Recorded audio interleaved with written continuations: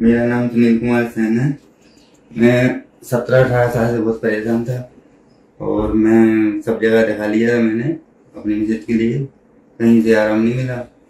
फिर मुझे पता चला कि भोपाल में नोवा आई है। तो मैं वहाँ पे आया।